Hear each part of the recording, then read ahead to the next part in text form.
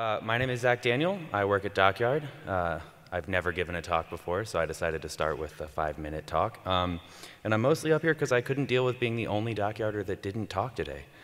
Uh, so, one thing I see often uh, whenever I get to work with a new client or work at a new job uh, is there's a lot of little things that you can do to uh, help yourself with your Postgres database. Uh, just super actionable, quick, easy tips uh, you could take back and just you know, improve your effectiveness. So uh, let's just uh, roll into them.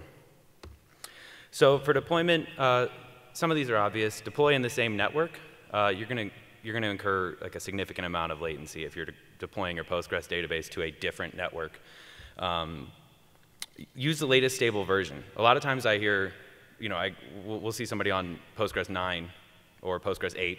Uh, it's relatively painless to upgrade, and uh, they're mostly stable. There was actually a bug in like the most recent stable version, so maybe I shouldn't give you that advice. I don't know.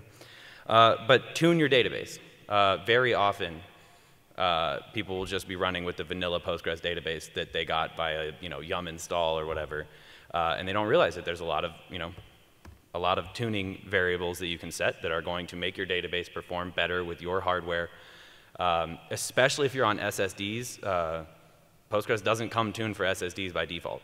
So you know, you're going to see a lot of gains if you just go to pgtune.leopard, and it's going to give you like some really basic, uh, useful defaults to use for tuning your database. Uh, these aren't all of them, and I don't have time to explain all of them, uh, but uh, Postgres also has a guide on it, all its uh, tuning variables. So for migrations, uh, avoid using application code. that that, that's predominantly because you're not going to notice when you delete application code that breaks a migration because you've probably already run that migration locally.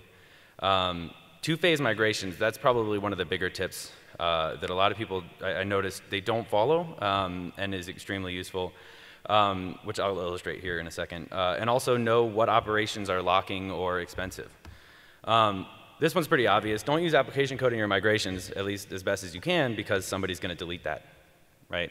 I've seen that all the time uh, and it just kind of wastes time, and sometimes you don't notice until you've either shipped it to, until you've shipped it and somebody's downloaded your library or whatever, uh, and can't use it anymore. Um, two-phase migrations. Don't do this, right? Especially if you're running an important production application. Don't remove a field, don't add a field to your schema and create the field in the database in the same deployment.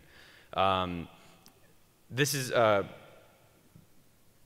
predominantly to avoid having that little blip in between when you run your migrations and when your application is actually successfully deployed, um, where your application is using a field that doesn't exist, right? Ecto schemas, all queries against them will fail uh, if they are referencing a field that doesn't exist in the database. Uh, it's very inconvenient.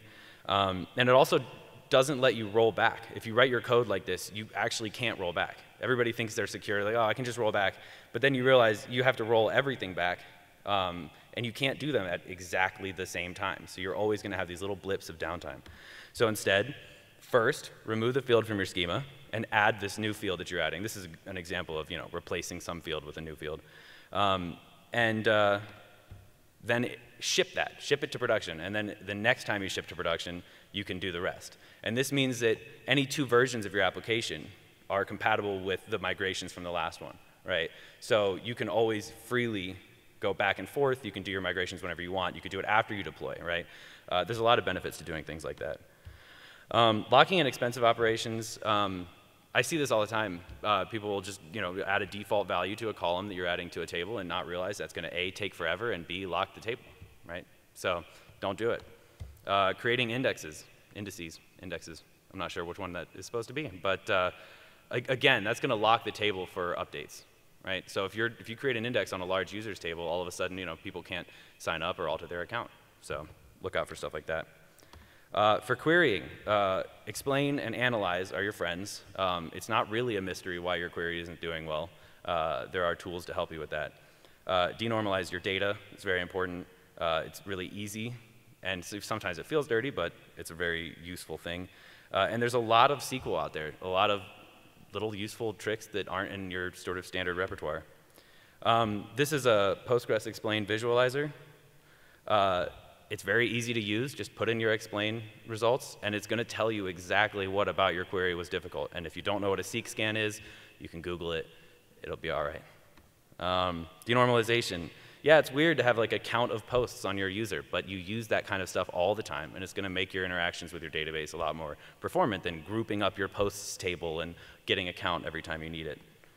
Um, yeah, oh, the SQL you'll find if you just look through stuffy documentation for hours.